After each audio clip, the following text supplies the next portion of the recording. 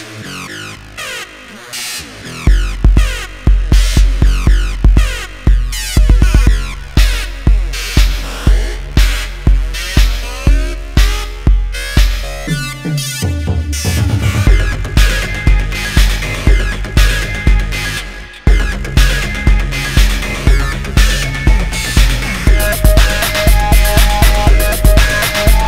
What's up, everybody? It's your favorite bird of praise, favorite nerd. And today we are looking at TFC's Divebomb, and he's probably my favorite of the set, um, but not without his issues. So, head is on a ball joint, and it, the articulation range is very, very impressive. And it hinges at the base too, because there's this weird thing that pushes down for transformation. But it is pretty cool, and the head sculpt is also uh, cool. Not not not very accurate, but certainly more in line than we've seen, especially with Razorclaw.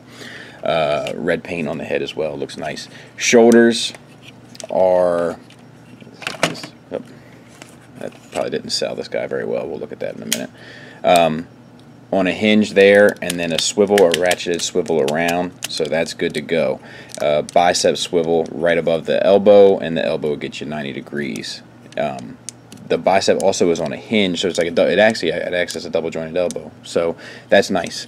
Uh, the black paint is done well. It's sharp. It's clean. Same on the forearm, and then the hands are stupid as we've seen before. Same on the other side. The yellow on the chest looks fantastic. Um, the red and translucent looks good on the bird chest, which is on his head, and you can uh, take it up. Push this down. I hate this. I hate. I hate the engineering of this head. Let's see here.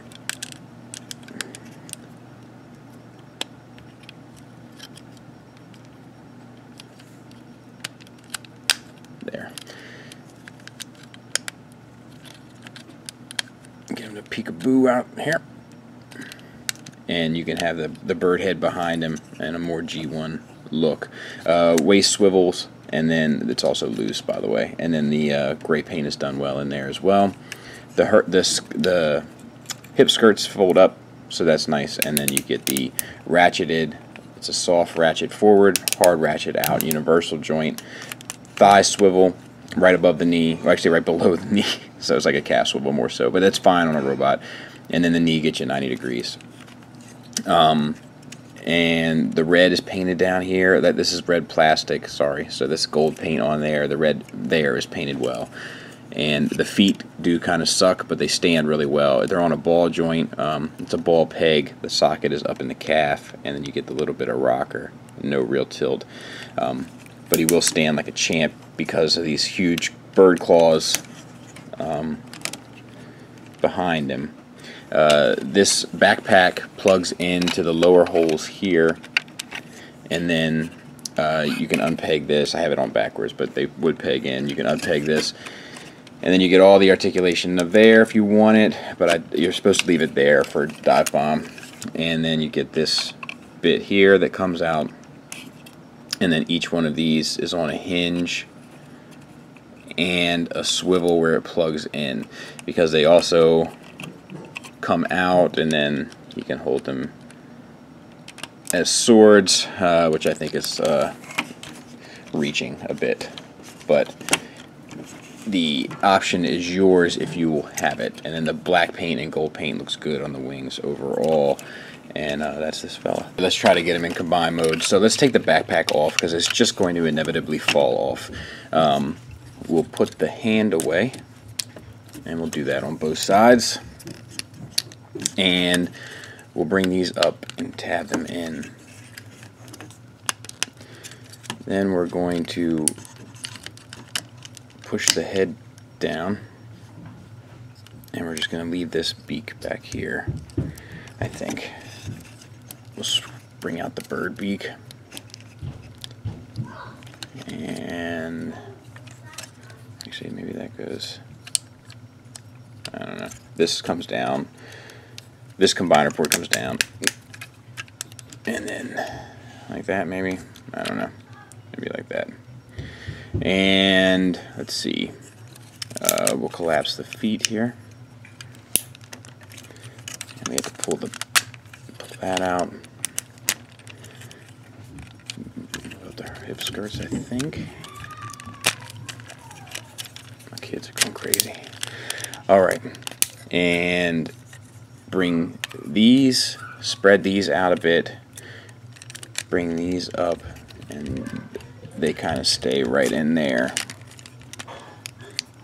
And then you bring the fist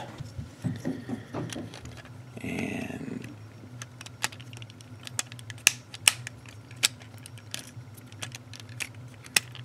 plug the fist in. And I guess you can rotate these this way and like that and there's the arm um, and it is a fine arm uh, but it, it, doesn't really articulate uh, except for there like that's the elbow but you'll see in combined mode it doesn't it, it's it's too flimsy and it just starts to fall apart um, because the amount of force that it takes to move that ratchet um, it doesn't really um, lend itself to do so. Let's get him into bird mode and we'll wrap it up. Fist out, uh, bring the feet around, open.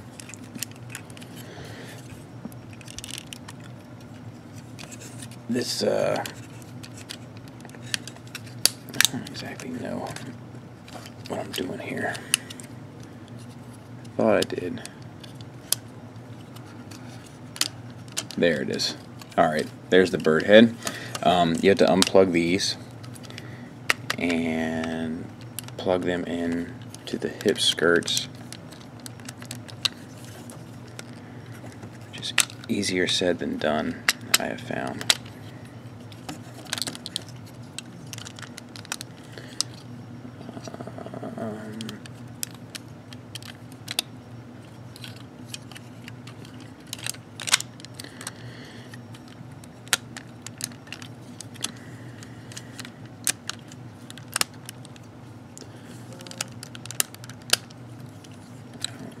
Put too much pressure on this thing.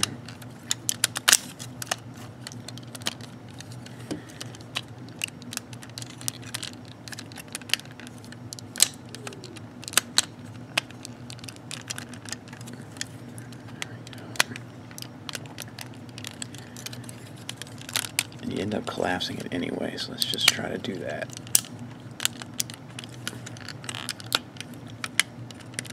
There and then uh, I think that's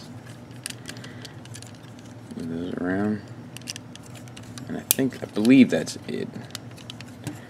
And then you plug the uh,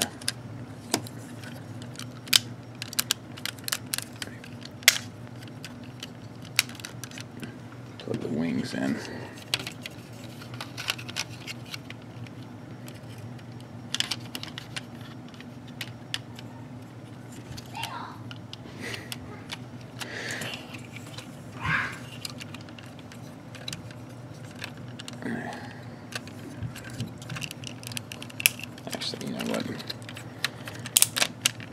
Let's spin this.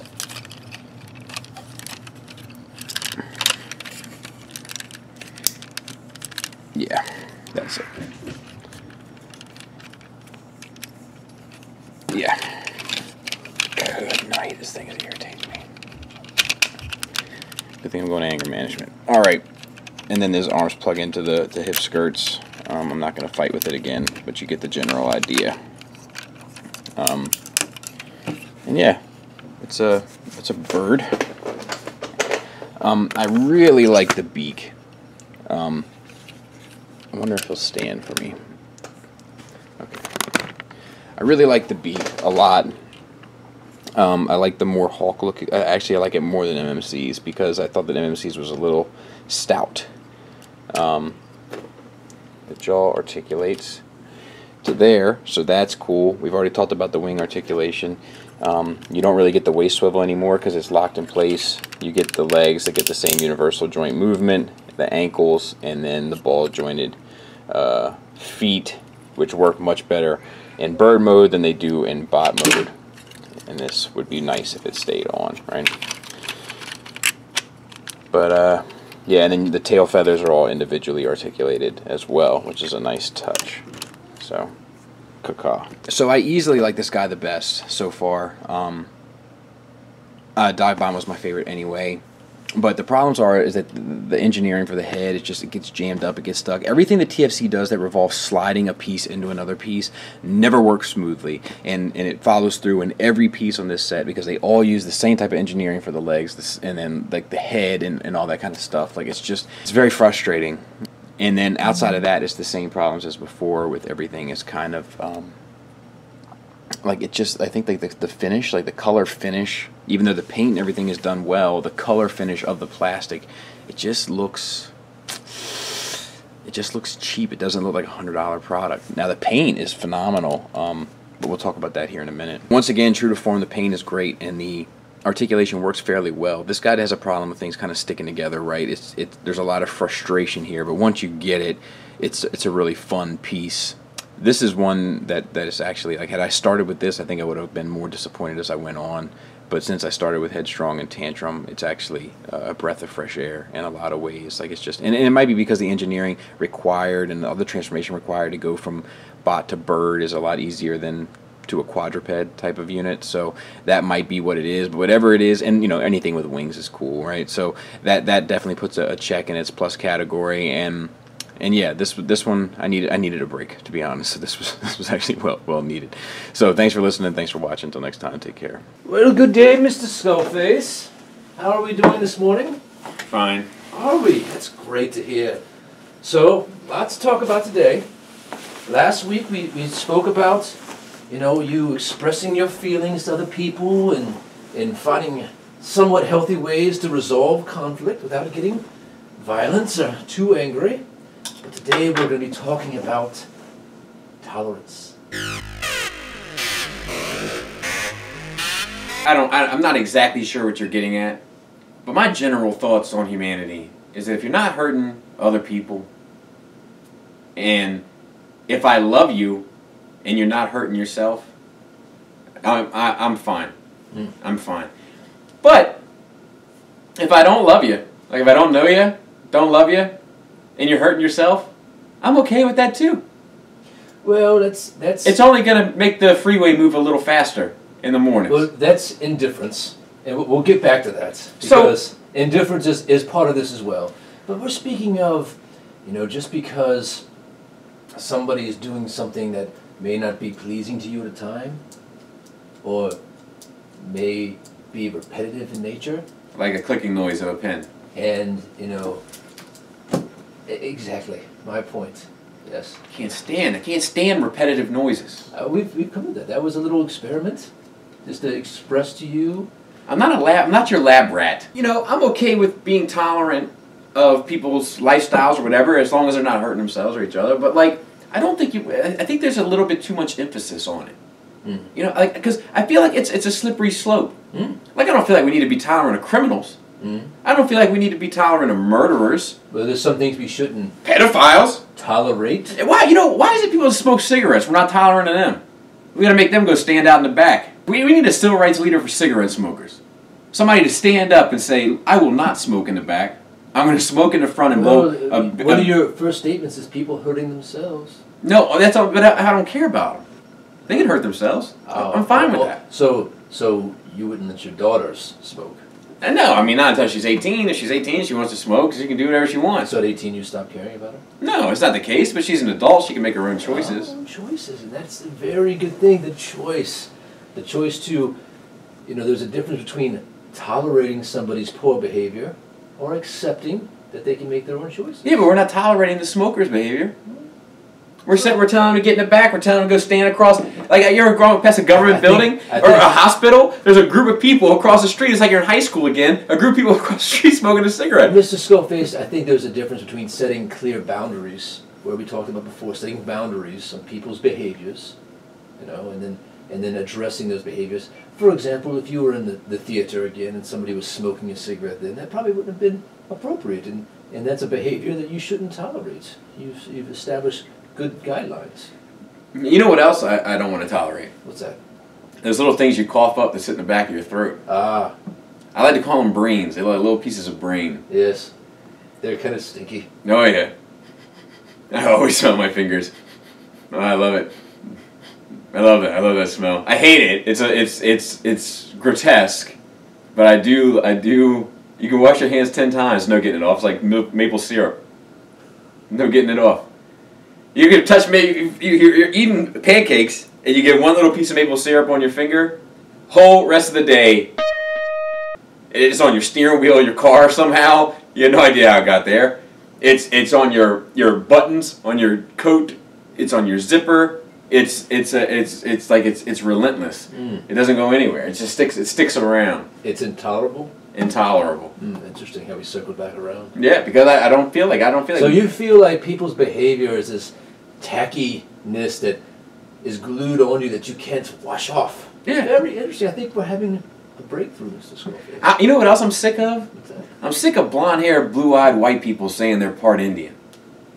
Ah, it's, it's very annoying. It's a very American thing. It is. I've noticed. It is eh, like uh, uh, if you're such They, a they have a need to be part of something other than the Caucasian race. if you're such a Native American, what are you doing at Walmart with a hot pretzel? You got a hot pretzel and a pack of Mike and Ike's, Mm-hmm. And just because you got a, a, a, a dream catcher hanging from your, your rearview mirror, or a tattoo of a, of a wolf howling at one. howling, howling at the dream catcher. Yes. The old. Right. Oh, let's talk. uh, You know what? Let's talk about tattoos. Ah, Look, I like a tattoo. I, I can see. And I like I like when it means something to somebody. Mhm. But I'm so tired of the cliche tattoos. What this guy, ah, I don't know. You got the praying hands, you know, like the, the the rosaries hanging from the praying hands. And I got a lot of those guys I talk to, not very Catholic, Ah, but they got the rosary on those praying hands, buddy. You got the tribal tattoos. Well, the, the we finally moved away. I tell you, like tribal tattoos, the praying hands, the bird silhouettes. Every, uh, especially the girls that got those like up and down their hips, like a flock of birds taking off. That is today's mom with the knife through it, in the heart. That's today's dragon. I tell you, the other day I was just at Hershey Park. Mm. I saw a ginger. I heard it's the sweetest place on earth. I saw a ginger Mhm. with a dragon tattoo on his upper right shoulder on the back. Yes. He must have got it when he was five, Hmm. because this guy was probably fifty, and it looked more like a uh, salamander was crawling at the back. I mean, it had just gone to. It looked like a nightmare. And there, I tell you what, that that I, I like Hershey Park. The kids get to go on the rides and all that kind of stuff. It's a good time. But I tell you, that is the land of bad tattoos. Mm. Everybody got their tattoo out of a Cracker Jack box. Everybody has a Fisher Price My First Tattoo there. It's like they go in and they're just like, what's popular? And they're like, oh, we got these praying hands. Like, sold. You know, it doesn't matter if they're atheists. They got the praying hands on them. And then, like, uh, the, the window sticker art. Speaking of design art. Look, I've lost people close to me.